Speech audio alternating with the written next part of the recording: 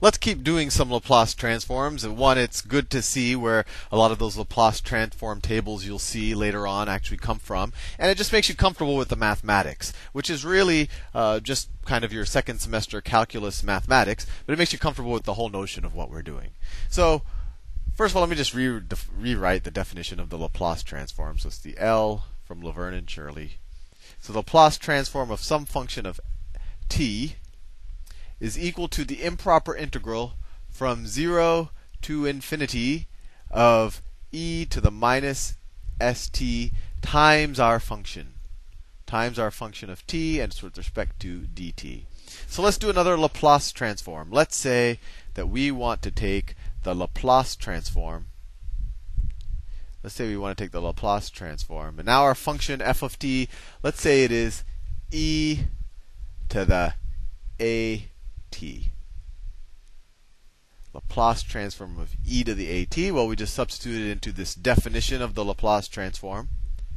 So that is equal to, and this is all going to be really good uh, integration practice for us, especially integration by parts. Almost every Laplace transform problem turns into an integration by parts problem, which, as we learned long ago, integration by parts is just the reverse product rule. So, anyway, this is equal to the integral from 0 to infinity. E to the minus st e to the minus st times e to the at right? That's our f of t dt well this is equal to just adding the exponents because we have the same base the integral from 0 to infinity of e to the what? A minus s e to the a minus s t dt. And what's the antiderivative of this?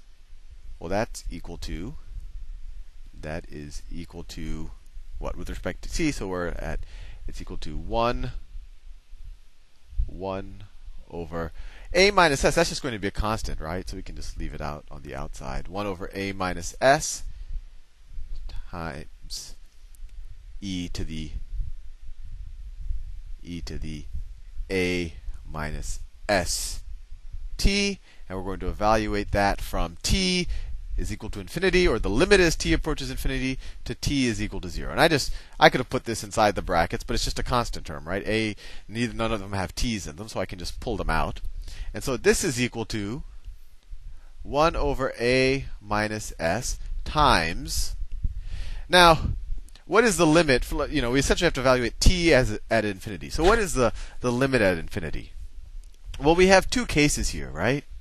If this exponent, if this exponent, if this a minus s is a positive number, if a minus s is greater than zero, what's going to happen? Well, as we approach infinity, e to the infinity just gets bigger and bigger and bigger, right? Because it's e to an infinitely positive exponent. So it actually it we don't get an answer. And and when you do improper integrals, when you take the limit to infinity and it doesn't come to a finite number, does the limit doesn't approach anything, that means that the limit, or actually the improper integral, diverges. And so there is no limit. No limit. And to some degree, we can say that the Laplace transform is not defined when a minus s is greater than 0, or when a is greater than s. Now, what happens if a minus s is less than 0? So if a minus s is less than 0, well then this this is going to be some negative number here, right? And then if we take e to an infinitely negative number, well then that does approach something. That approaches 0, and we did we saw that in the previous in the previous video. And I hope you understand what I'm saying, right? e to an infinitely negative number is is 0 or it approaches zero, while e to an infinitely positive number is just infinity, so it doesn't really converge on anything. So anyway, so if I assume that a minus s is less than zero, or a is less than s, and this is the assumption I will make, just so that I get, uh, so that this integral, this improper integral, actually converges to something. So if a minus s is less than zero, then this is a negative number. e to the a minus s times, well, t, where t approaches infinity, will be 0, minus this integral evaluated at 0. So when you evaluate this at 0, what happens? t equals 0, this whole thing becomes 0, e to the 0 is 1. e to the 0 is 1. And we are left with what? Minus 1 over a minus s. And that's just the same thing as 1 over s minus a. So we have our next entry in our Laplace transform table. We have our next entry, and that is the Laplace transform.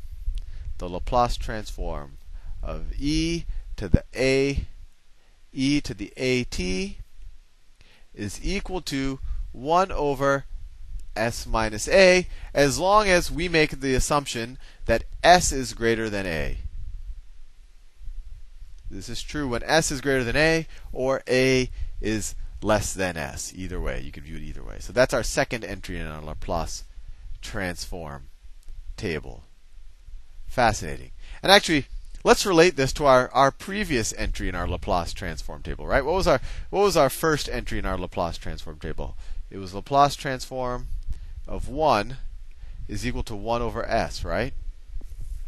Well, isn't 1 just the same thing as e to the 0. So we could have said that this is the Laplace. I know I'm running out of space, but I'll do it here in purple. We could have said Laplace transform of 1 is the same thing as e to the 0 times t. Right? And that equals 1 over s. And luckily, it's good to see that that is consistent. And actually, remember, we even made the condition when s is greater than 0, right? We assume that s is greater than 0 in this example.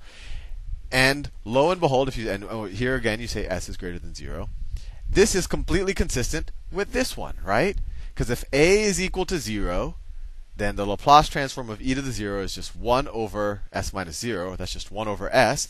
And we have to assume that s is greater than 0. So really, these are kind of the same entry in our Laplace transform table, but it's always nice in mathematics when we see that two results we got trying to do slightly different problems actually are in some ways connected or the same result.